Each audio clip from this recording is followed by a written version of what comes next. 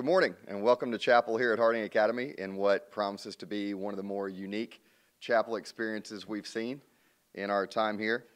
Um, my name is Rusty Garner. I'm a teacher and a coach here at Harding Academy for those of you that may be seeing this that don't know me. And I was asked to, to lead our peak of the week slash chapel service here this morning. And I'm really excited about this opportunity and glad to have you with us wherever it is that you may be this morning. It is certainly a strange experience to be giving this speech to an empty auditorium.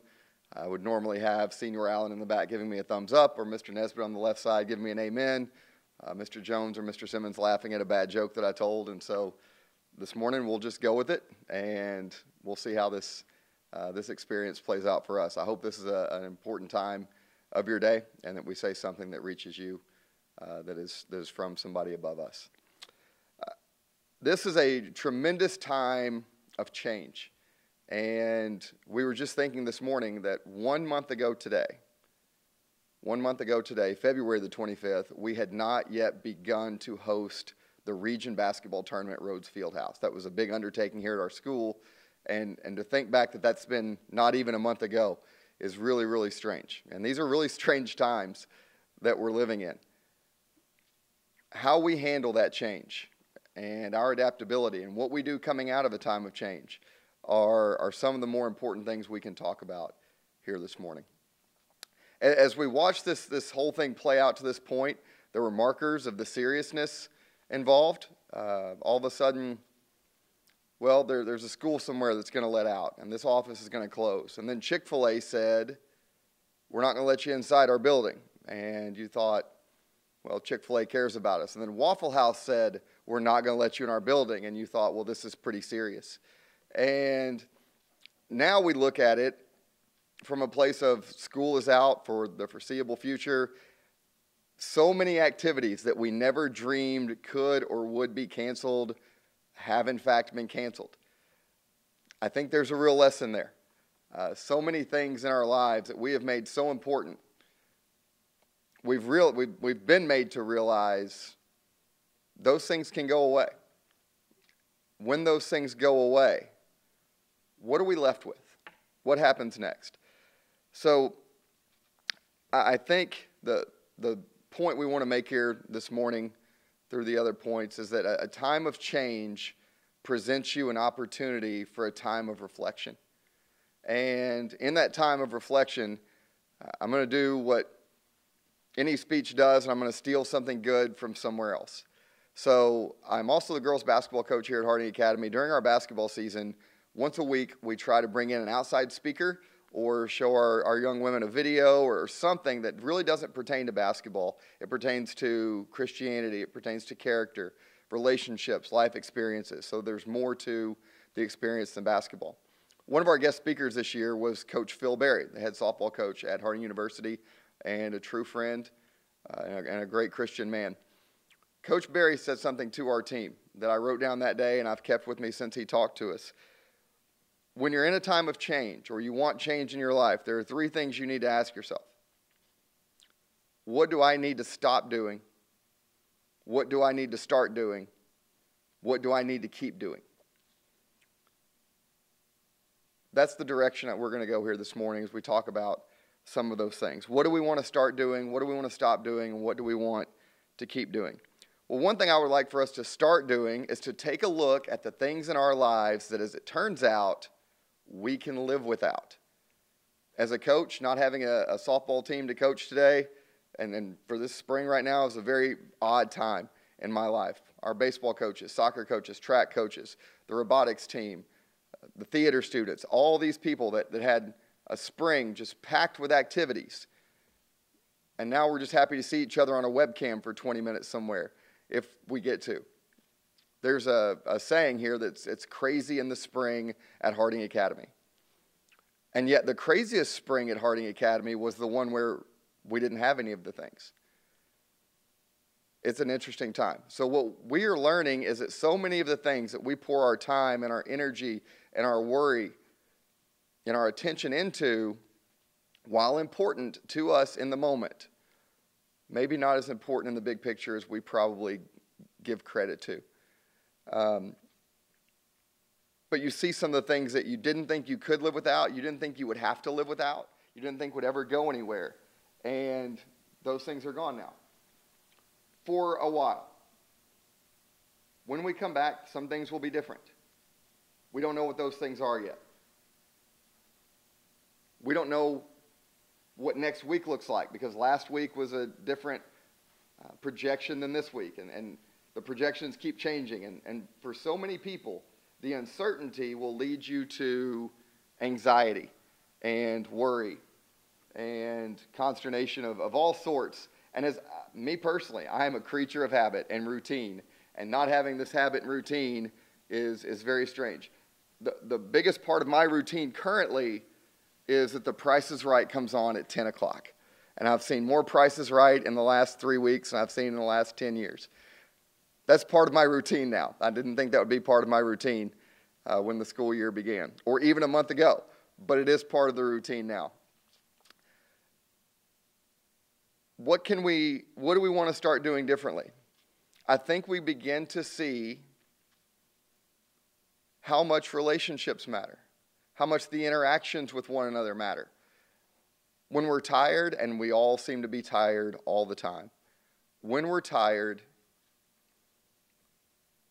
we just want to go home and stay home and rest for a day or two days or three days.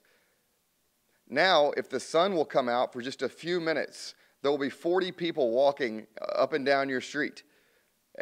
My wife and I go on walks every day when the sun comes out, and every street that we go on, people everywhere dogs, kids playing in the yard. It's, it's a really interesting time, but you see, people just want to get out of the house now that we've given, been given so much time in the house. If tomorrow everything went back to normal and we could be back to our lives, we'd wish we could go home for a while. So, in this, this constant yearning for something else, we're being given something else. It's important that we do something positive with it. It's important that we don't let the anxiety and the fear of the change and uncertainty get the best of us. Uh, there's, there's a verse about that that we should mention Psalm 94 19. When anxiety was great within me, your consolation brought joy to my soul. And anxiety is great in so many of us right now.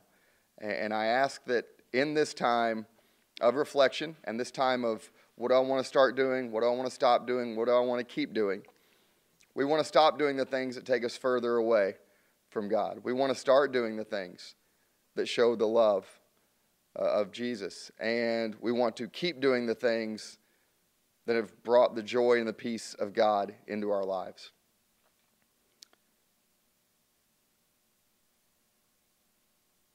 I've seen this quote around many times. It's worth pointing out right now.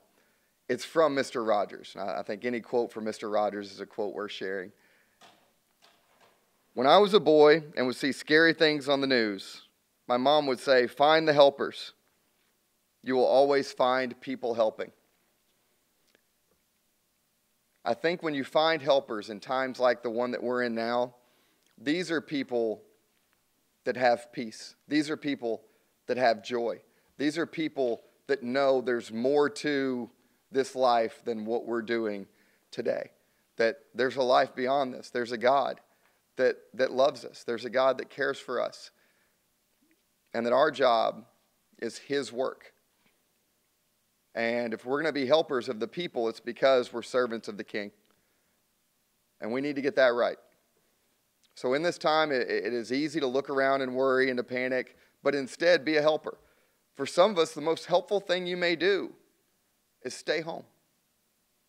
That may be the most helpful thing you can do, and you feel like you're not doing anything. Maybe that's the best thing that you could do right now. If there's some way you can be of assistance, doesn't put anyone else at risk, sure. We need to do that. You should do that. I think it's biblical to be a helper. I think it's biblical to put others in front of yourself and to reach out for their needs, but only in a way that you can be Jesus to those people. Right now, there's, there's so much uncertainty, but also what I have seen from our people, our students, our faculty, our administration is incredible adaptability. We're all learning so much. We're all learning things that we never thought we would be learning this semester. We're all learning how to do new things. Many of us teachers will probably be better teachers on the other side of this because of the lessons we've learned about communicating online with students and all the resources that are out there, things we might not have gotten a chance to do uh, in another situation. The students, you've had to be very, very adaptable in this, and as the college and, and professional job models move more online every day, that we had a small piece of time where all learning had to be online, whether you liked it or not, that may be to your benefit. Either way, we're all having to adapt right now. That's not a bad thing. That can be a truly great thing. Our lives call for adaptability. This was just a situation where the adaptability was thrown at you instead of something that you chose. And that's okay. That's okay. How do we respond to that? Where do we go from here? Those are the questions that, that we're all trying to figure out right now. And if we will just focus our eyes and focus our faith and not lose sight of what we're doing here, then this could be a moment of, of great growth uh, for us as people. As, as we go through the remainder of our school year, again, we don't know what the next week, months, we don't know what they look like. What we know is today. And today, we're called to be a child of God and we're called to be followers of Christ. We know that. In a time of incredible upheaval and change, let's look at what is eternally constant. And the constant is God as a Father. The constant is Jesus as the Son. The constant is our role as believers and our role as followers and our role as Christians. Those things are constant, regardless of the world that we live in. There's a great chance for us to be distracted by all that's going on right now, and these are important things in the world. Please don't misunderstand me. But let's also not lose sight of the incredible opportunity we have here for growth, both in relationships with one another and relationships with God. Romans 15 13 says, May the God of hope fill you with all joy and peace as you trust in him so that you may overflow with hope, the power of the Spirit. Joy, peace, and overflowing hope. Those are constants. And in a time of change, you want to find things that are constant. We're learning all sorts of new things. What outside walking looks like when you've been stuck in the house. Who those nice people are that live in your house that introduce themselves to you this week as your family. Maybe you haven't really had a chance to meet or see them recently because we're all so gone all the time. How to learn things online. How to live in a world where we don't know exactly what tomorrow looks like when we're all such creatures of habit. In the changes, find the constants. And the constant in this situation is God. The constant in all situations is God. Thank you for being with us this morning. Our principal, Mr. Steve Breedlove, has our prayer.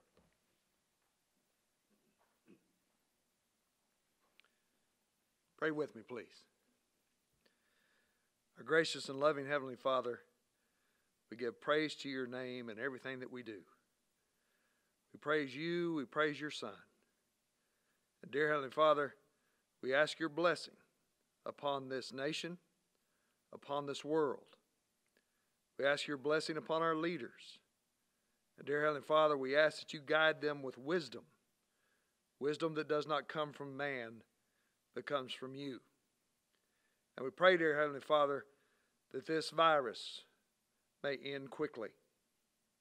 And, dear Heavenly Father, in this time of change, in this time of constant upheaval, we know that you are with us. For your Son told us that He is with us always, even until the end of the age. The things that are constant are your kingdom, your grace, your forgiveness, and your love that you have for us. And dear Heavenly Father, we thank you so much for that. We thank you for the gifts that we have in this life. And the greatest gift of all was your Son, Jesus Christ, who came to this earth and paid our debt for sin. For, dear Heavenly Father, it is in His name that we pray all things. Amen. I hope all of you have a great day.